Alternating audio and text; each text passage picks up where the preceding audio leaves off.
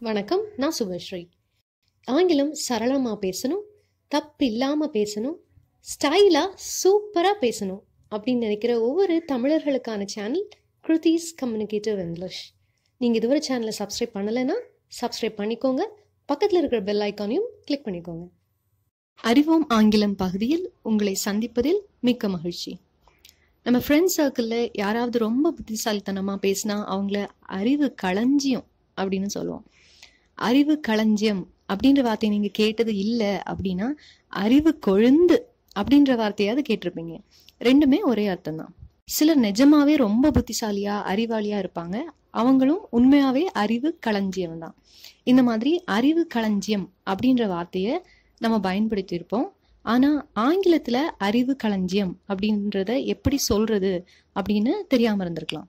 இந்த வீடியோவில் அதை தான் தெரிஞ்சுக்க போகிறோம் அறிவு களஞ்சியம் அப்படின்ற வார்த்தையை பற்றி தெரிஞ்சுக்கிறதுக்கு முன்னாடி களஞ்சியம் அப்படின்ற வார்த்தையை பற்றி தெரிஞ்சுக்கலாம்.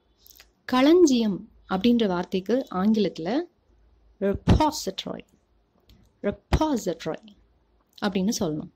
இந்த வார்த்தையுடைய சரியான உச்சரிப்பு ரி பா ஜி ட்ரை இந்த வார்த்தையில் ரெண்டு வாட்டி ஆர் வருது.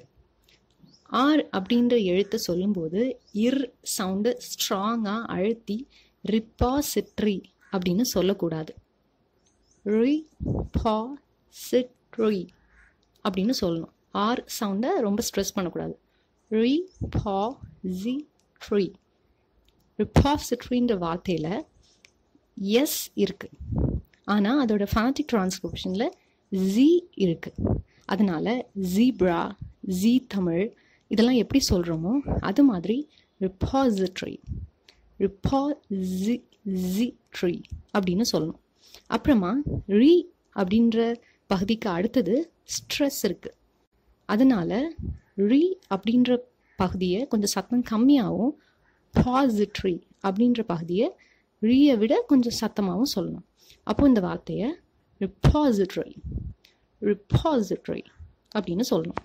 ரிப்பாசிட்ரி அப்படின்ற வார்த்தையுடைய மீனிங் அண்ட் அதை எப்படி பயன்படுத்தணும் அப்படின்றத பார்க்க போகிறோம் ரிப்பாசிட்ரி அப்படின்றது ஒரு நவுன் ஏதாவது ஒரு இயற்கை வளம் ரொம்ப நிறைஞ்சிருக்கிற இடத்த களஞ்சியம் ரிப்பாசிட்ரி அப்படின்னு சொல்கிறோம் உதாரணத்துக்கு தஞ்சாவூர் நெற்களஞ்சியம்.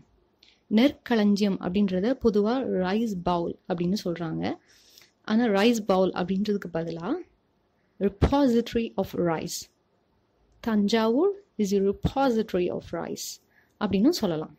நிறைய முக்கியமான ஃபைல்ஸ் பெட்டிகள் எல்லாம் வைக்கிற இடத்தையும் களஞ்சியம் அப்படின்னு சொல்கிறோம் அதையும் ரிப்பாசிட்ரி அப்படின்னு சொல்லலாம்.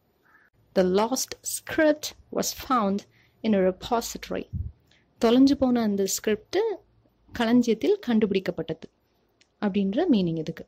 அது சரி அறிவு களஞ்சியம் எப்படி சொல்றது அப்படின்னு உங்க மைண்ட் வாய்ஸ் எனக்கு கேட்குது அறிவு அப்படின்றது நாலேஜ் களஞ்சியம் அப்படின்றதுக்கு ரிப்பாசிட்ரி அப்போ அறிவு களஞ்சியம் அப்படின்றத repository of knowledge repository of knowledge அப்படின்னு சொல்லணும்.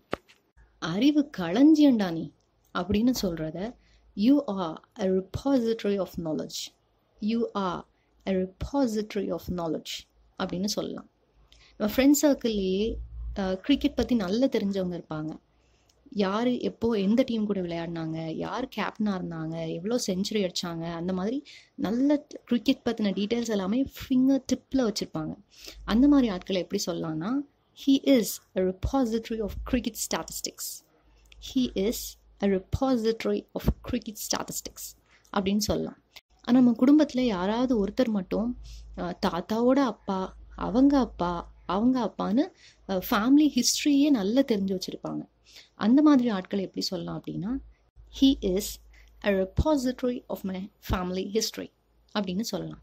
இந்த மாதிரி ரிப்பாசிட்ரி அப்படின்ற வார்த்தையை எப்படிலாம் பயன்படுத்தலாம்னா repository of helps repository of secrets repository of facts repository of current politics அப்படி சென்டென்ஸில் ரிப்பாசிட்ரி அப்படின்ற வேர்டை பயன்படுத்தலாம். ரிப்பாசிட்ரி அப்படின்ற வார்த்தையுடைய பொருள் உச்சரிப்பு அதை பயன்படுத்தும் விதம் எல்லாமே உங்களுக்கு புரிஞ்சிருக்கும்னு நினைக்கிறேன்.